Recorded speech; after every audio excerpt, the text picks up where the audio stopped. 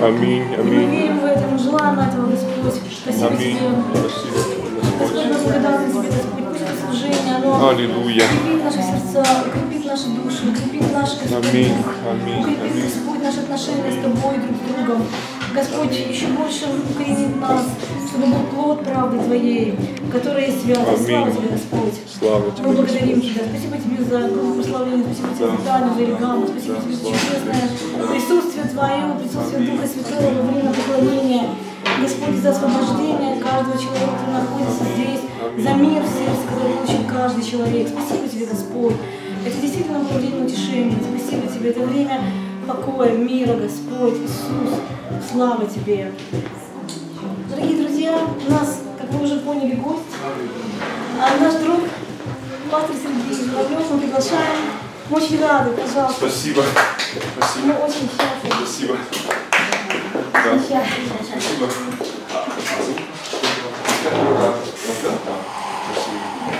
Да, Очень приятно, да, молодцы, слава Богу, да. Я очень благословлен, не знаю. Вообще замечательно, когда мы славим Бога, да. Да. Замечательно, когда мы прославляем Его, и разные песни, разные музыкальные инструменты, и без них, и с музыкальными инструментами, по-всякому. Но замечательно, когда в этом всем Бог присутствует. Слава Богу, да. И я э, приветствую всех вас, братья, сестры, дорогие друзья. Благословляю всех вас. Спасибо. Вот, и Геннадий Макарович, конечно, благословляю в поездке его, братьев всех, кто с ним сейчас возле него. Вот, люблю его очень, вот, и часто в молитвах так вспоминаю, вот, и, и вас, всех, собрание ваше, да, слава Богу, да. Вот, и сегодня я вот а, в воскресенье имею возможность такой быть в гостях. А, У нас в церкви, там сейчас служение на Гловской, там у нас а, проповедует сегодня гость, а, один из наших священников, отец Виктор с Черкасской области приехал. Вот, а я, пользуясь случаем, думаю, нет, а я побываю здесь. Спасибо. Слава Богу, я к вам. Вот, так что, и э, я думаю, это замечательно, когда мы вот так вот и дружим церквями, и э, вместе славим Бога. Э, Вообще, э, когда, допустим, даже причастие совершаем, хлебопреломление, совершаем, когда мы э, вот, церковно, да, допустим, это замечательно. Э, Но когда это происходит вообще межцерковно, когда это происходит вот, э, тем более там, как межконфессионально как-то, не знаю, как-то для меня это особенная радость. И в гостях у себя я люблю причащаться в церкви, но когда в гостях как-то особенно как-то, ну не знаю, для меня это трогательно. А почему, наверное, еще? Потому что а, о единстве верующих можно, ну и нужно, конечно, и должно, и я и молюсь, и многие из нас молятся, да, э, и это хорошо, благочестиво, но э, есть э, намного больше, вот о чем сегодня как раз пастор Оля сказал уже чуть-чуть, вот а, как раз по поводу хлебопреломления, вот о той женщине, которая получила такое откровение, необычное очень, да, откровение, там, значит, аэропорт Торонто, во время пробуждения того. Конечно, да, вот, и я знаю подобные случаи, подобные рассказы, как бы, ну, чуть другие, но примерно похожие. Вот, и знаете, э, наше единство – это тело и кровь Иисуса Христа. Э, э, Это даже не э, разговор о единстве, даже, даже не молитва о единстве. Э, Знаете, если мы не можем э, встретиться у чаши Господней, да, э, вместе не можем преломить хлеба, э, тела Христа, э, то всем нашим молитвам и разглагольствованием о единстве, ну, грош цена. Потому что все это как бы, знаете, как вот холостой какой-то выстрел. Истин, духовный мир реагирует на определенное действие. Знаете ли, и самое великое действие, конечно, самое великое действие, это когда мы вместе преломляем хлеб. И я очень Богу благодарен. Вот, э, спасибо Богу за вашу церковь тоже, вот, за Филадельфию, Бож, Божью такую братско-сестринскую любовь. И что у вас такая вот традиция хорошая. Не часто у протестантов встречается такая традиция, вот, к сожалению, но мне она очень нравится, когда вот каждое служение вот, преломляется хлеб. Очень хорошая традиция. Дай Бог вам за это здоровье и благословение, да. Да, и хочу сегодня поделиться Божьим Словом и э, хочу прочесть из Ветхого и из Нового Завета несколько строк. А, первое хочу прочесть из книги «Песни песней». А, в книге «Песни песней» два стиха хочу прочесть. А, шестая глава, третий стих, во-первых, а потом восьмая глава, седьмой стих. Книга «Песни песней». Шир Гаширим, да, шир, значит, на иврите пою, воспеваю, пение, шир. Шир Гаширим, песни песней. И вот легко запомнить, да, что в книге всех книг есть песни всех песней. это потрясающая книга. Я делился уже, да, у вас тоже немного чуть-чуть. И в этой книге всех книг, песни всех песней, а в ней есть стих всех стихов. Перед тем, как Христос пришел, ну, незадолго до его пришествия, до его Рождества, э, мудрецов еврейских спрашивали, учи, э, разные школы были, ну, две основные такие школы, школа Шама и школа Гилеля. Их спрашивали, а, какой а, главный стих как бы в Торе, в Писаниях еврейских, во всех, в пророках, а, найдите один стих, который был бы ключевым, который бы, был бы ключом, как бы, или как мы еще говорим, золотым стихом. Ключ ко всем Писаниям, чтобы, допустим, если, допустим, не евреи спросят, вот в чем смысл Торы, ну, Гилель знаменитый выразил, да, значит, там, значит, э, мудрецы и, и Шамай, старший учитель, тоже значит, выражал учение Тора, допустим, возлюбить Бога и возлюби ближнего. Возлюби Бога, Его Слово и приведи к Его Слову все народы. Ну, разные были формулировки, разные были идеи, как, бы, как, как выразить Слово. Все, всю, всю идею иудаизма, библейской веры, библейской веры. И мудрецы сошлись двух школ разных на одном стихе. Это было из книги «Песни песней». Нашли стих, который они сказали, является ключевым стихом, который открывает как бы всю Библию, все Писания еврейские. Это 6, 6 глава «Песни песней», 3 стих, 6 глава, начало 3 стиха. Э, звучит так в русском переводе. «Я принадлежу возлюбленному моему, возлюбленный мой мне». Я, да, они. Они летоди, ведоди, ли. А, и вот это вот а, летоди, э, ведоди, оно а, как бы принадлежность, да, оно как бы, что, да, это мой возлюбленный, доди, да, ну, даже их песня леха доди, да, вот леха доди, ну, это уже шабатня такая песня. Но очень, я вообще эту тему сейчас изучаю, мне она очень нравится. И знаете, я был впечатлен, что оказывается вот это вот ледоди, ведоди, оно буквально как бы я ему без остатка принадлежу, я в нем, а он во мне. Мы одно целое. Мы одно целое. Как бы мы одна, ну, как вот Иисус выразил, да, «А я и Отец одно вообще. Вот я, мы как бы одно, мы одно. И вот это вот потрясающе, что действительно Бог по милости своей, Он открывает нам свое сердце и Э, в той же песне песней, 8 э, раздел, до 8 глава, 7 стих, написано «Большие воды не могут потушить любви, и реки не зальют ее». Есть разные тоже комментарии, разные объяснения и еврейских, и христианских толкователей, православных отцов тоже. Э, очень разные есть мнения по поводу, что же это все как бы значит. Но, знаете, Иисус, Он как-то говорил, помните, что кто слушает меня э, и исполняет слово, да, которое говорю, тот муж благоразумный. И когда все хлынуло, устоял такой человек. Почему? Потому что он был на фундаменте прочном, на камне. Да, а тот, кто строил на песке, его все было разрушено. То есть это тот э, человек, который в одно ухо влетело, в другое вылетело, как мы говорим, да? Слушает, но не исполняет. Э, и это печально. Э, потому что, опять-таки, в еврейском тексте оригинальном, вот это шма знаменитый, да, шма, э, шма Израиль, слушай, да, это не просто в одно ухо влетело, в другое вылетело, а шма это как призыв к действию. Да, это будь внимателен, выслушай, и еще это призыв к действию, как бы побуждение исполнить. То есть исполни, живи этим, как бы, исполняй это, испол, живи этим именно. То есть это потрясающее откровение. В одном слове, потрясающе. И скажу так, никакие воды не зальют Божьей любви. Никакие проблемы, никакие беды. Есть то, что э, вечно. Настоящее, Божье, святое. В Новом Завете апостол Павел пишет к римлянам, 8 глава, 15-16 стихи. «Потому что вы не приняли духа рабства». Римлянам 8.15. Вы не приняли духа рабства, пишет он, чтобы опять жить в страхе, но приняли духа усыновления, которым взываем Ава, Отче. Сей самый дух свидетельствует духу нашему, что мы дети Божии.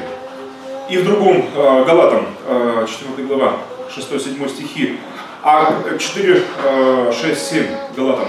А как вы сыны, то Бог послал в сердца ваши духа Сына Своего, вопиющего Ава, Отче. Посему ты уже не раб, но сын, а если сын, то и наследник Божий через Иисуса Христа. Аминь.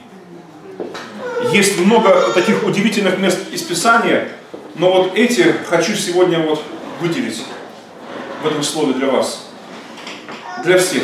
И те, кто э, тоже, пользуясь случаем, привет моей семье, потому что э, мои там за меня молятся, переживают тоже детки, супруга. Вот от них привет вам всем передаю. Вот, и э, э, есть много, конечно, э, потрясающих таких откровений Библии, но для меня вот это самое драгоценное, самое великое, самое ценное. Э, у меня большая мусульманская родня, э, большая семья мусульманская, потому что э, по отцу я еврей, но по матери я татарин. И моя татарская семья, моя татарская родня, она огромная, она большая. Еврейская очень скромная, очень мало родственников осталось, вот, да и было немного. Вот, семьи маленькие, а татарская родня большая. Там десятки братьев у меня двоюродных, десятки сестер двоюродных, троюродных, э, это просто ну, добрая сотня. Вот это кого я знаю, дяди, тети, и двоюродные дяди, тети. Там родня, которая вот, приезжает в Татарстан, допустим, да, там, чтобы только побывать хотя бы у кого-то там, там, хотя бы по одному вечеру, там, ну, месяц нужно точно, чтобы пройти, чтобы никого не обидеть. Но поэтому обычно собираемся все вместе. Где-то там собираемся, там дяди, тети собираемся. Вот. Родня большая. И в советское время, ну, обычно были ну, советские мусульмане наши, в принципе, как бы у нас, да и мечети никакой не было. Сейчас там уже пару мечетей построили, третий даже строится, по-моему. Вот, а раньше ничего там не было, где мы жили. Вот, и знаете ли, э, никакой о религии ничто не напоминало там, где мы жили. Хотя дедушка мой, э, вот его звали Гали Ахмед, да, значит, он у нас всех мальчиков обрезал. И еврейских, и татарских, э, ну, как бы, ну, в принципе, это у нас не было сильно связано с религией, это больше было как культура, допустим, да, ну, как часть культуры. Вот принято, вот как бы, хорошо, вот есть э, бабай, вот мой дедушка, да, который все это делает, как бы, значит, да, вот, носили мальчиков, вот, и у нас это э, никак не ассоциировалось с религией. А сейчас приезжал, допустим, последний раз, когда к родственникам, ситуация поменялась, конечно. Э, многие, э, многие стали в мечеть ходить. Один из моих братьев, там, Ренат, он даже э, один из учредителей даже одной из мечетей, довольно такой ортодоксальный такой. Вот домой пришел к нему, у него там холодильник, все халяль только, вот, значит, ну как, наподобие кошера, только татарский вариант. Значит, да, значит, халяль, там, значит, там у него коврик, он там по часам молится, все как бы так, так интересно. Как бы прошли годы, как бы такие, ну, такая трансформация, такая, такие перемены. Вот. И, э, в общем-то, э, и другие братья, смотрю, так уже, так уже, так, ну, как-то к религии как-то, э, вот, ну, будем так говорить, выходят навстречу. Ну, не сильно не сильно религиозно. Это, это хорошо, что можно вот так вот, ну, нам нормально это, поговорить о Христе. Я им там всем новые заветы подарил на татарском языке, инжил называется, инжил подписал. И рассказываю им об Исе Масихе, Иса, говорю, Масих, он, говорю, он для меня мой Спаситель, Господь. Но знаете ли, когда мы общались, вот с Ренатой как раз последний раз в Казани, то я ему как раз говорил, знаешь, говорю, вот, э, э, в Коране, говорю, он Коран читает, э, и в Коране, говорю, э, 99 имен Бога. Э, ну вот такая есть э, информация для сведения. Э, но говорю, все они есть в нашей Библии. Я могу э, тоже их всех выписать тебе из Библии. Что он Бог судья, он всемогущий, любящий, прощающий, он человек любимый. Там, вот все вот эти вот э, качества, они называются в исламе именами Бога. Вот, и всего 99 этих вот имен значит, Бога. И я говорю, эти все имена есть и в нашей Библии, говорю. Но, говорю, в Библии, говорю, в чем преимущество все-таки Библии э, пред Кораном, говорю, что э, в Библии есть одно имя, которого не достает э, вот, Корану, не достает исламу, не достает мусульманам. А он мне спрашивал, а какое имя еще? Ну, что за имя? Не достает нам, как мусульманам. Я говорю, он отец. Он отец мой. Это самое ценное, самое драгоценное. Ава, отче, отец мой папочка, отец. И э, наоборот, даже в Коране там говорится, э, в одном из э, стихов аятов говорится, что отцом для смертного не называй его. То есть даже э, есть запрет, в общем-то, ну, как бы и у шиитов, и суннитов есть даже э, и писанные, и неписанные запреты э, э, обращаться к Богу как к своему отцу. Даже помыслить, что он может быть отцом твоим, э, это считается уже крамолой, ересью. Ну, допустим, там Амар Хайям, да, вот он немного был такой крамольный такой, еретический как бы был мусульманин, он как бы допускал где-то, да, э, вообще есть такие э, как бы мусульмане-харизматики, как бы такие вот суфии, ну, э, как бы, которые, как сказать,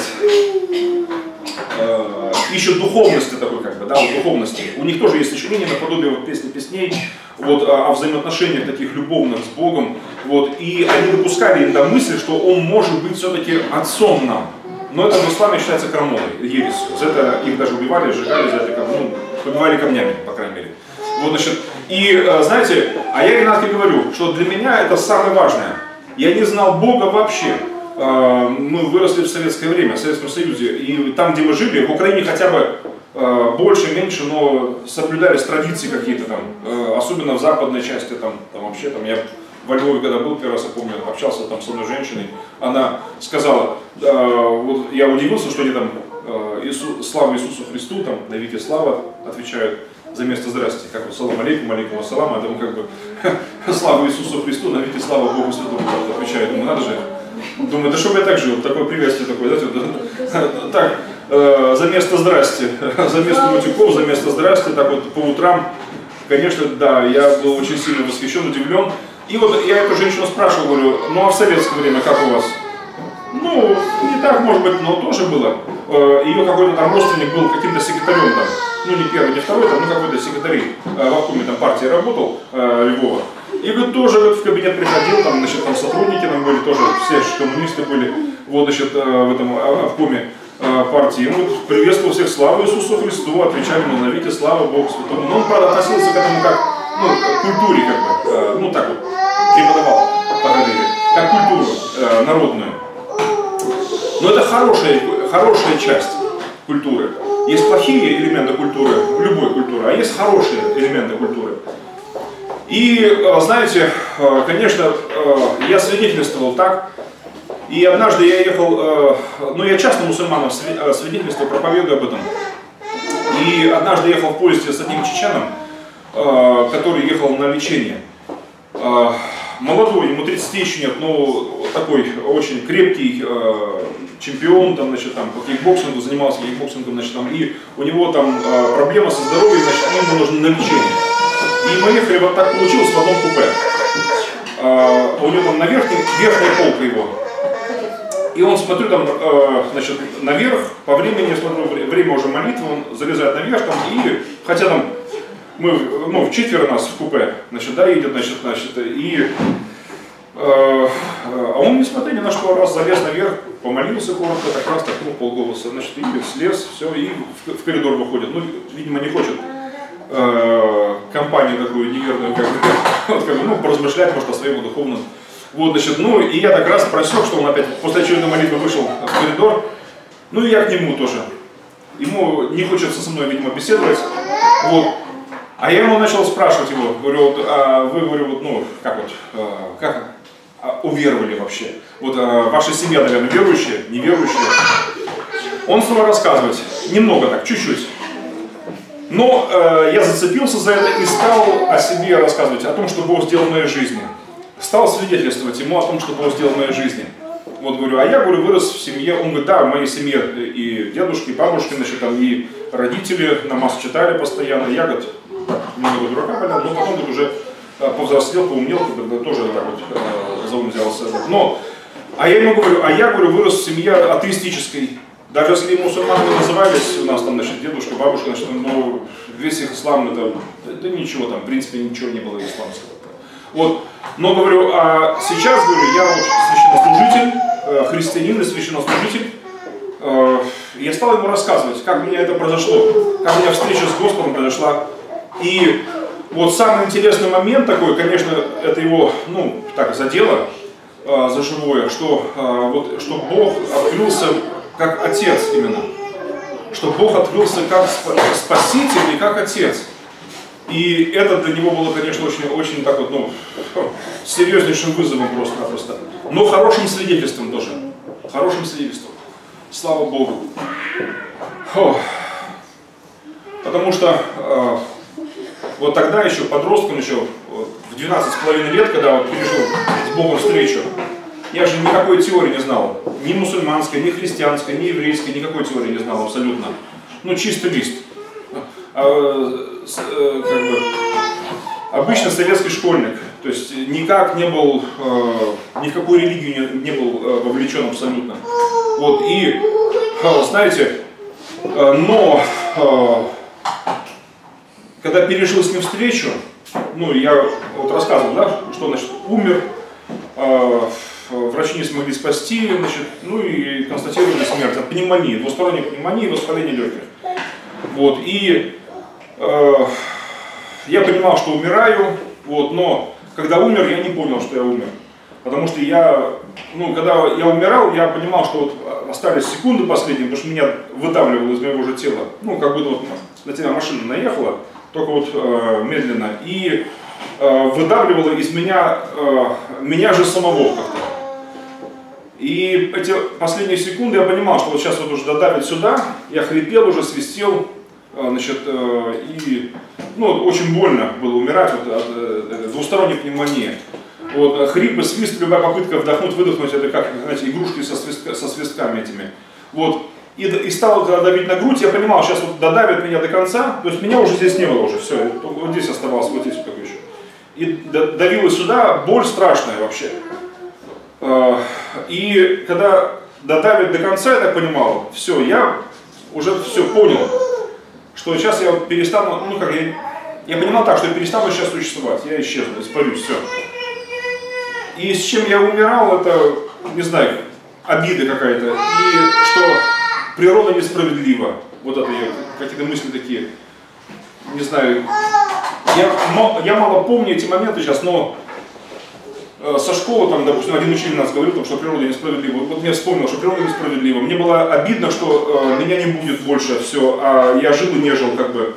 Вот что мои сверстники завтра в школу пойдут, а меня не будет. Вот мне было, вот помню это, это чувство обиды, несправедливости и обиды. И все, вот с этим я умер. Э, последний раз стало больно, а потом не больно. Вот. Э, я даже не понял, что я умер, потому что э, это я потом уже понял, что я умирал, когда уже вернулся уже, когда уже все, я понял. А, а так я не понял даже, что я умер. Потому что я не перестал существовать, я не перестал видеть, слышать, там, то есть я был, даже еще намного лучше меня было. Я, ничего не болело, все было хорошо вообще. И я смотрел наверх, вот, а, я был заворожен просто. Я знал, что это Бог. Опять-таки, кто мне это сказал, или я сам догадался. Вот, но я знал, что это Бог, и я вот нему, как перед ним, я даже не помню, как этот момент произошел-то, вот встреча-то, что я вот, я перед ним, вот это точно понимал, что я перед ним. Ну вот, и, но, слава Богу, все было хорошо, потом, после нашей встречи, я вернулся, э, снова залез в свое же тело, э, зашел и заполз как бы так постепенно как бы. И мое тело было исцелено вдобавок, то есть я не только воскрес, я еще был исцелен, как бонус такой. Слава Богу, да, значит, потому что я понял сразу, что я здоров, потому что когда вот я сюда зашел уже, сюда, я не хрипел, не свистел, я дышал нормально вообще, ничего не болело абсолютно вообще. Вот. вот. И, э, и потом до конца дошел, знаете, как вот, а, как вот колготки какие-то, допустим, представил себе, одеваешь. Вот я четко вот э, подошву, пятку почувствовал, до конца уперся, все, дальше как бы уже не шел я. Я понимал, что я э, себя одел как бы на себя самого опять. Как бы довольно странное ощущение, непередаваемое ощущение.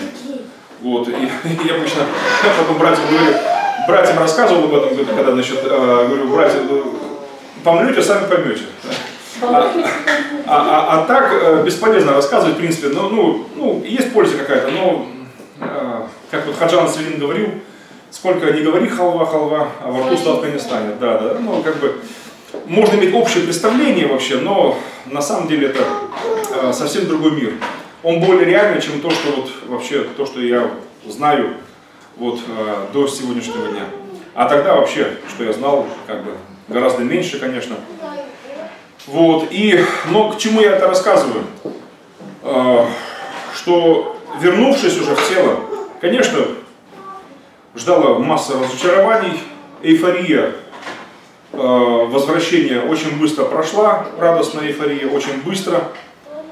Вот, а, потому что, знаете ли, когда попытался маме что-то рассказать, немного даже, вот, на меня как-то так как она посмотрела, вы знаете ли, как вот, ну я понял, что это страшно вообще. Что, знаете, э, э, врачи напугали еще, что там могла быть галлюцинация, что-то еще.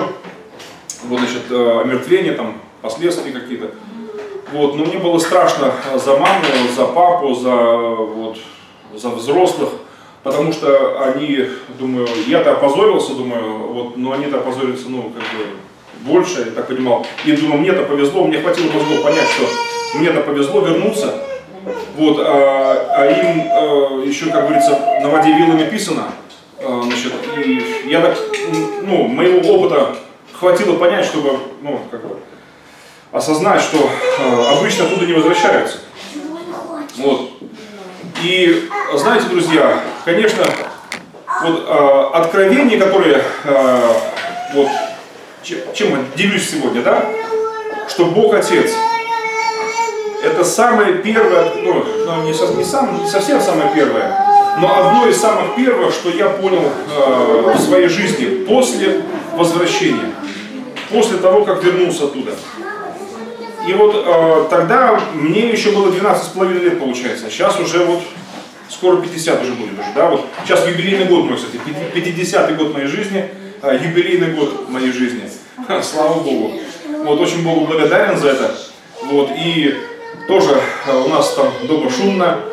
Ну, у нас, правда, один внук пока только. Вот, э, вот, и слава Богу, э, вот. Но всем детям своим, когда они вот достигали этого возраста, 12-13 лет, я им э, вот рассказывал об этой истории своей. И рассказывая, я как раз вот говорил, что э, оказавшись перед ним, э, мне казалось, что я самый плохой мальчик, что жил на земле вообще. Э, потому что э, здесь на земле совсем другой взгляд вообще. Здесь э, не по-настоящему, как, как будто понарошку. Э, по правду, что мы там уже. Вот. И мне казалось, как будто я вот э, лет 12-13 проспал, допустим, и мне снился так неплохой, хороший сон, сон вот, моя жизнь. Вот, и вот наконец-то я проснулся. Наконец-то я проснулся в реальном мире. Но было неприятно, потому что э, очень сильно опозорился я.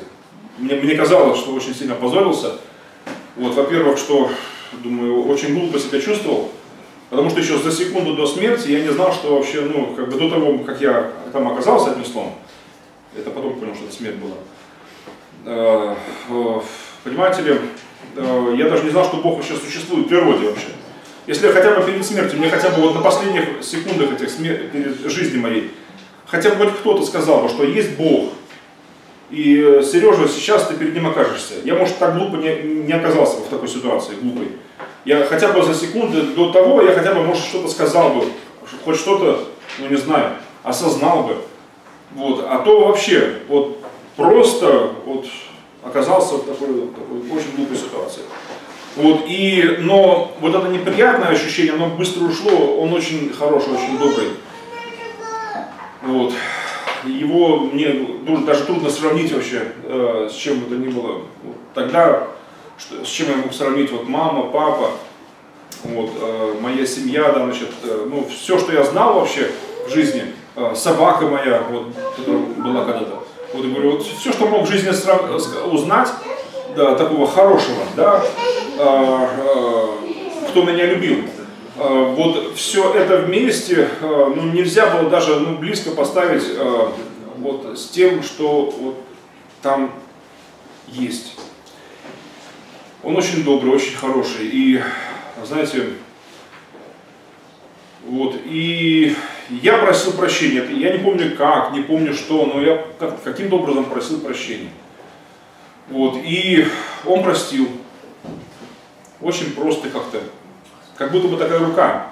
Она, знаете, как вот в школе с доски стирает, стирает. Но там в школе, допустим, доска если стирается, то там что-то остается все равно еще. Можно прочитать. Ну, надо очень усилия приложить, чтобы все это стереть.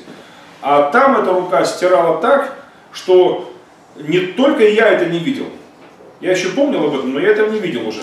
А там э, все это видишь. Э, там мысли они видимые. Э, там очень, поначалу очень такая ситуация такая дурацкая для тебя. Ну, для меня оказалась очень такая поначалу. Там как будто, как будто зазеркалье. Вот, допустим, то, что ты получаешь, да, ты как будто теряешь, наоборот, и кого-то отдаешь, как будто, наоборот, получаешь. То все, все шиворот на выворот. Вот, но э, к этому очень быстро привыкаешь. А, очень, это как бы буквально, не знаю, мне казалось какие-то секунды, и я уже понял, что это нормальная как раз ситуация. А до того, что мне было, казалось нормальным, это ненормально как раз. То есть, вот, ну, вот, то есть освоился я очень быстро с этим. Но, представьте, понимать, что все прежде я вот пожил на земле и прожил, и, вот, э, и все это совершенно неправильно, э, не, не, ненормально, э, по, э, вот здесь нормально, а вот то, что было в моей жизни, это ненормально, потому что я жил только для себя. Вот, это, это ненормально. В, в той э, среде это было как позор. В той среде это было очень стыдно. Но это он мне простил и вытер так, что у меня было такое чувство, э, казалось так, что вот его сейчас Бога спроси, вот, а помнишь, было вот то, то или так, или так, вот такое ощущение было, что он, он как бы сказал бы о чем-то вообще. То есть, вот, как будто он, вот, ну, вообще, не то, что как будто бы, а я четко, я еще помнил, а он не помнил этого же. Вот, вот так стер. Не только со своей жизни, но с моей жизни, но это и с себя вообще, как будто этого не было вообще. Но только одно нельзя было стереть, это было во мне. Вот какие-то, э, даже не огорчения, но знаете, мысли такие, думаю, как я мог бы жить вообще? Совсем по-другому. Если бы я знал, меня обманули, мне не сказали, что Бог есть. Думаю, а если бы я знал бы, что Бог есть, и что вот это все вот так вот, э, как бы я мог бы жить вообще? И такая вот, знаете, такая тоска, не тоска, вот как бы, вот э, там хорошо, но э, то, что я не могу ничего плохого, я ничего плохого не видел, но вот, э, вот этот дискомфорт, что э, очень все глупо получилось у меня. И знаете, я знал точно, что я буду снова жить. Одним словом, когда вернулся, э, ждали и разочарования, но ждали и откровения. Мне очень хотелось с ним разговаривать. Я вот делился этим. Э, хотелось с ним э, поговорить, хотя бы еще секундочку в глаза ему посмотреть хотелось после возвращения. Ну, когда проходили уже недели, э, первые дни еще нормально было как-то. Как знаете, вот как воздух наберешь, да, в рот, и можно не дышать, допустим, под водой или где. Но проходит немного времени, и ты уже паникуешь уже, уже тебе нужно что-то, что да, вдохнуть. А проходит еще время, ты уже понимаешь, все, у тебя остается считанные секунды уже. Вот, вот если знать, что такое, да, значит, вот и у меня, понимаете, поначалу, э, как бы я снова оказался здесь, когда, да, вот на, на этой земле, первые дни еще нормально, хотя в этом было что-то неестественное, в этом нормальности. Вот. Но потом с каждым днем было все хуже и хуже. Я понимал, мне нужно, я хочу вот этого, ну, глотнуть. Мне он, я хотел хотя бы секундочку ему в глаза посмотреть, мне так вот мыслилось. И я не знал, как можно. Я ходил в школу и был в депрессии. Ну, можно так выразиться, депрессии. В отчаянии просто, просто в отчаянии был. Вот, домой приходил со школы и э, утыкался в подушку и, и просто ревел. Мне хотя, хотелось хотя бы секундочку еще ему в глаза посмотреть. Вот я, я ну хотя бы секундочку, и мне хватило бы дальше, я не знал, что еще, но вот это мне, думаю, хватило бы намного. Но, знаете, э, я ревел. Я вообще вырос, э, знаете, в такой традиции э, татарской семье. Вот, э, в основном мое детство ранее проходило. И там учили нас, что мальчик не должен плакать вообще. Вообще. Что бы ни было бы там. Там даже такие были, ну, очень не, моменты были. Там еще, допустим, там не было 5 лет, 6 лет, допустим. Там все было лезвием разрезано, так получилось, значит, и обсыпали солью, и засыпали, а, значит, и, и замазали тряпкой.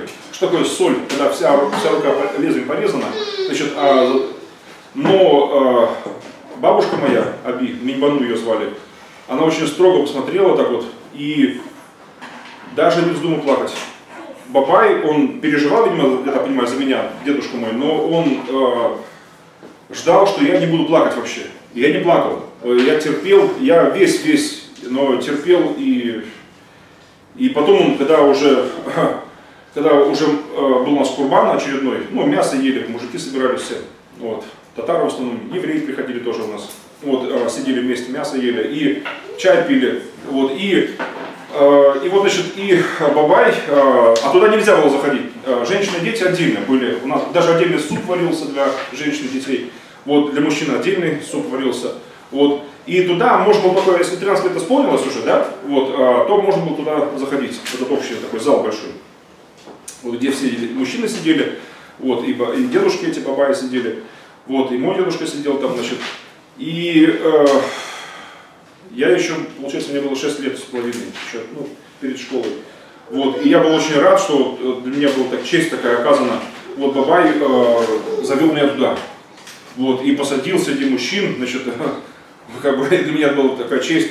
Вот, и я знал, что вот я не заплакал, вот у меня как бы почти. Вот, и я, был, я привык к тому, что мужчине ну, нельзя плакать вообще, нельзя, просто нельзя. Вот, и знаете, а здесь, после вот этого момента, вот я просто реветь начинал, я просто плакал, и мне было не до того уже, не до всего вообще. Вот, я просто плакал. И э, когда просыпался, подушка, я не знал, можно ли столько реветь вообще, откуда у меня, думаю, столько жидкости вообще. Э, подушка была мокрая, вообще вся мокрая. И не от пота, а слезы. Представляете, сколько надо было реветь-то? Это я э, утром только понимал, что вся подушка мокрая, хоть выжимай, думаю, вот это да, значит. А, но э, утром приходило облегчение. К утру приходило облегчение. Во сне получал, ну можно так выразиться, откровение. А мне хотелось очень поговорить с ним, а я не знал, как поговорить. У меня был только один образец, вот я говорю, это вот заболеть, умереть, поговорить и вернуться. И у меня даже, я в школе, там, я помню, шальная мысль такая на уроке пришла, такая, думаю, ну, как бы специально простыть, объесться мороженого, там, все там. Вот, думаю, раз повезло, мне верну, я вернулся. Но я даже был готов на эти боли, э, на эту боль пройти, снова выход из тела и всего. Э, болезнь, это боль, э, чтобы хотя бы секундочку ему глаза еще раз посмотреть. То есть у меня даже такая мысль была, э, ну неправильная, конечно, шальная мысль совсем, но некому, некому было даже вообще что-то мне подсказать вообще. Как, что, я же не знал, что можно с ним разговаривать, не выходя из тела. Что можно с ним общаться, даже не умирая, а в нормальных условиях, чем дело. Вот, и, э, слава богу, до мороженого не дошло, до простуды не дошло, вот, и э, той же ночью э, я был перед Богом во сне. Во сне. Я не видел Бога во сне, но Он был там настолько реален. Я видел мальчиков и девочек. Много очень мальчиков и девочек. Э, младше меня они были. И их было много. И они играли как-то. И у них была очень странная игра такая. А Бог, Он был как будто бы вот за той ширмой. Вот. Вот это такая ширма, не ширма, знаете, вот телевизор, не телевизор, э, медуза, не медуза, стекло, не стекло, ну что такое, знаете, вот, э, но она закрывала его. То есть я понимал, что он там. Но он все видит и слышит, что мы здесь играем. А у детей была интересная игра. Эти мальчики и девочки, они играли интересно. Они э, ему все пересказывали, рассказывали все ему. Поначалу как-то было чудно. Э, он-то и так все это видит. Ну, из-за всего этого ширмы, как бы, и все, он видит. Э, это перед ним все это происходило как бы. И я был там перед ним, на этой полянке как бы такой. И они все играют, и потом он все пересказывает ему, что они там, что у них было. Поначалу было чудно, а потом не понравилось. И я во сне попробовал тоже. И во сне э, я с ним стал говорить. Я ему стал рассказывать, как мне очень тяжело, вот как вот э, все эти дни было очень плохо без него, и что мне хочется хотя бы секундочку ему в глаза посмотреть. Я ему все стал рассказывать, что попытался маме, папе рассказать, на меня как на дурака смотрели, э, попытался там однокласснику одному рассказать, бывшему товарищу, он, то есть вообще ноль понимания. Вот. И что очень тяжело без него. Что на свою шею вот напросился, выпросил, э, как бы, или захотел обратно вернуться, а теперь очень жалею. Вот как бы все ему рассказал, и во сне так, такое облегчение было такое, мне так хорошо стало во сне. Как говорится, что не в сказках, как не пером писать. Стало хорошо, и с этим я проснулся. И вот тогда я попытался э, уже наяву, в яве. То было во сне, а то наяву. Я снова с ним поговорил. А в другой день, ночь вернее, тоже видел сон. И в том сне я был шокирован тем, что он мой отец. С того момента я называл его папочкой своим. Называл папой, назвал папочкой. Я не знал. Уже потом, конечно, спустя некоторые годы уже, уже в церкви православной уже, 87 был год уже, 88 год уже, я уже служил уже в храме, уже читал пел на клиросе.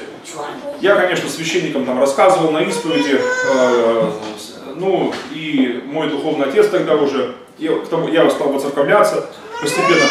Потому что все, что с религией связано, где мы жили уже, в Орле мы жили уже тогда, не, не там, а уже жили в России центральноевропейской, э, был храм православный. И это уже была ассоциация с религией какой-то.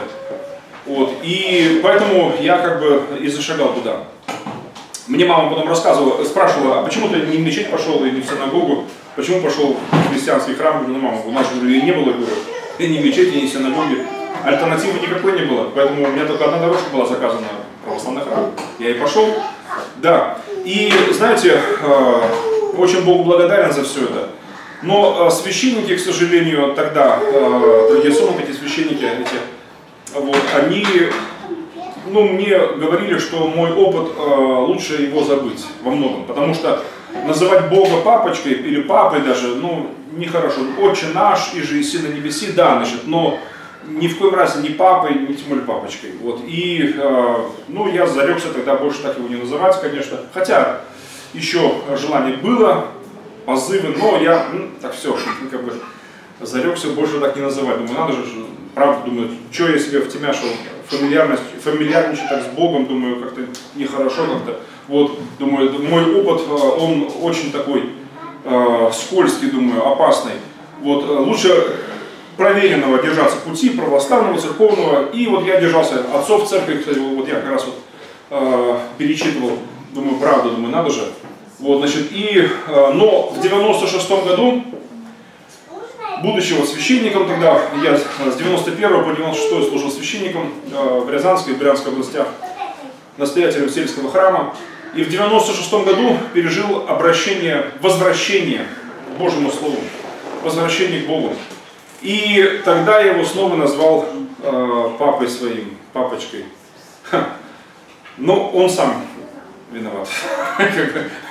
Он проявил первую инициативу, потому что меня назвал Сережей. Да. А, а, а так э, никто, э, понимаете, я не говорил даже священникам на исповеди, что он меня Сережа называл. Э, значит, никому не говорил. А, и вдруг он меня снова назвал спустя годы. Ха, он меня помнит, и, и поэтому я его снова назвал папочкой тогда. Вот, ну и с этого времени началось. Дальше. А, потому что Аба, да, Аба, Аба, э, есть песня Аба, э, значит, э, вот э, еврейская, и э, э, сегодня мальчики, девочки еврейские, папе, Аба, Аба, Аба, Аба, а, есть Абину, Авину, Авину, да, Авину это отец, это папа. Это более так официально как бы, да. А Аба это папочка, татусь украинский, татусь, перевод, Аба, э, татусь. Э, Значит, э, и э, таточка, да, значит, вот. И э, это то, что не является религией, а то, что является жизнью и сыновством. Это, по сути, Новый Завет это даже не книга в Библии, это даже не э, священная история какая-то, да? А Новый Завет э, в крови Иисуса Христа это Бога сыновство, Бога усыновление. Это самое великое, самое драгоценное. В сердце только ты один живешь, Мой родной самый драгоценный. Знаю, скоро ты за мной придешь, придешь, Господин и царь над всей вселенной. Господин и царь над всей вселенной. В сердце только ты один живешь, Мой родной и самый драгоценный. Знаю, скоро ты за мной придешь, придешь, Господин и царь над всей вселенной. Господин и царь над всей вселенной. Только,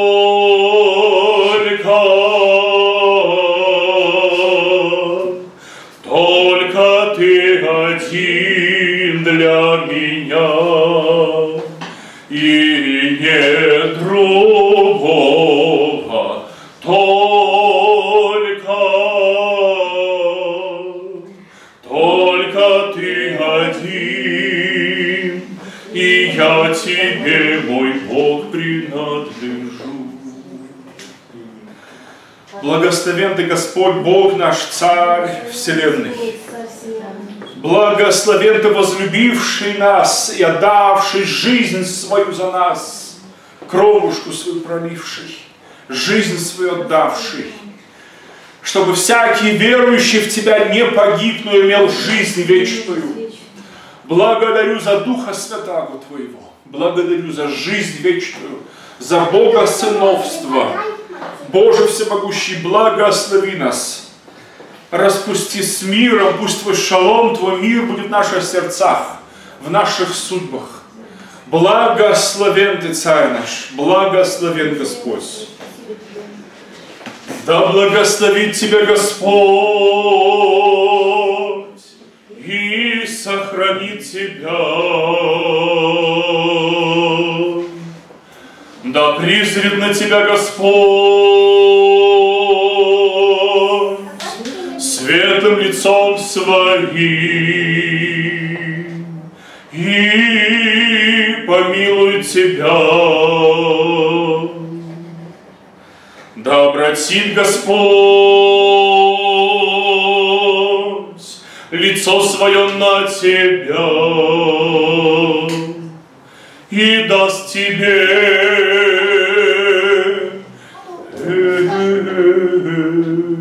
мир. Еврехе хадамнай, ве ишмареха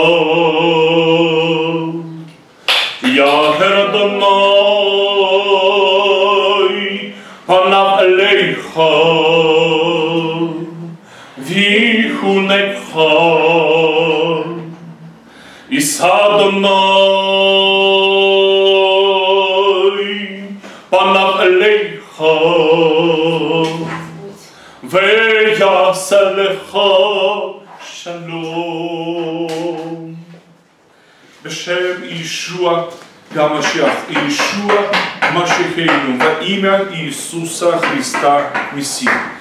Аминь. И ни в ком другом нет спасения, ибо нет другого имени под небом, данного нам, людям, которому надлежало бы нам спастись, которым спасены, которым спасаемся. Слава Иисусу Христу. Благословение Господь всех вам. Шалом, мир всем. Аллилуйя. Аллилуйя. Нас время. Молитвы, а нужно, я держу сейчас, Господь.